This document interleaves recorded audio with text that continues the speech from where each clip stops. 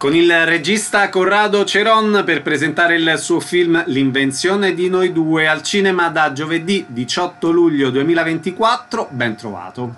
Grazie a tutti e buongiorno. Cosa hai raccontato?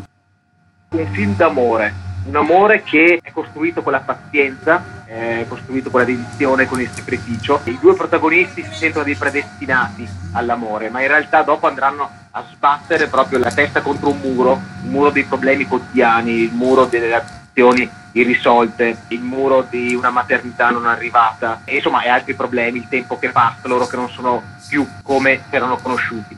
E quindi diciamo, questo amore pian piano diventa cenere, come dice poi Bussola nel suo romanzo. Come nasce tutto?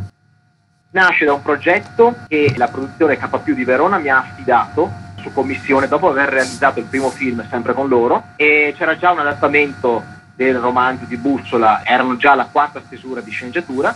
Io poi l'ho fatto adattare perché comunque volevo che fosse non solo un film su commissione ma un qualcosa di mio, di personale. E quindi l'abbiamo riscritto varie volte prima di andare sul set.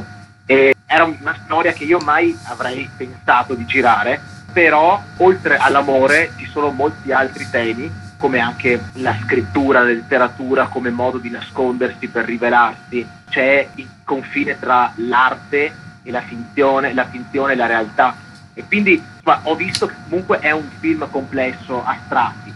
E allora ho deciso insomma, di coinvolgermi e di cercare di farlo. I luoghi che importanza hanno?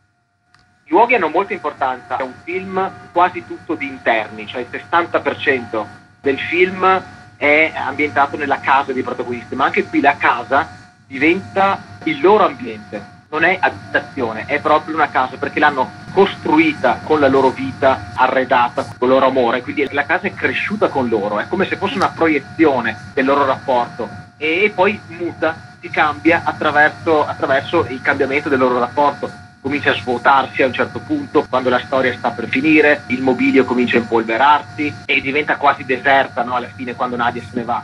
E quindi possiamo dire che la casa è una proiezione quasi esteriore degli umori dei protagonisti. E poi c'è Verona. All'esterno abbiamo girato tutto il film a Verona e anche qui la Verona che vediamo fa da cornice a questa storia d'amore Storicamente Verona è la città di Romeo e Giulietta, quindi era perfetta per raccontare una storia di sentimenti, anche se ho cercato di non rendere Verona troppo da cartolina, ma cercare anche quegli scorci un po' più inediti, no? meno turistici. Abbiamo girato a San Zeno, abbiamo girato a Castelvecchio, che sono zone un po' ai margini del centro, meno battute, ecco, ed è una città impalpabile quasi, cioè quasi soggettiva, come se fosse anche questa un'esteriorizzazione dei sentimenti, soprattutto di Milo. Quindi ecco, diciamo una città psicologica.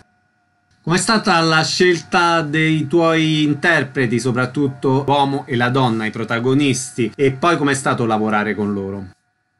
La scelta di Silvia è stata naturale, è il terzo film Silvia che fa con la produzione con K+, e il secondo con me, avevo già lavorato in Acqueanice, quindi ci è sembrata la scelta più giusta e invece Lino Guanciale me l'ha proposto la produzione e mi è andato subito bene nel senso che è stata la mia prima scelta assieme a loro. E quindi fin da subito abbiamo visto Silvia e Lino come Nadia e Milo ricostruendo le varie stesure di sceneggiatura in base al loro du role io di solito lavoro assieme agli attori proprio per costruire le scene. E sia Silvia che Lino non si limitavano solo al fattore recitazione o personaggio ma sono riuscito a spiegare loro nei primi giorni lo stile che volevo dare, la poetica del film, insomma, come volevo girarlo, con che tecniche, eccetera. Quindi loro avevano una visione completa anche della regia che volevo dare e così mi hanno aiutato molto, perché se un attore conosce gli intenti proprio del regista, il modo di mettere in scena, eccetera, è già metà film fatto. E quindi anche quando ero in difficoltà mi hanno sostenuto, hanno portato avanti anche,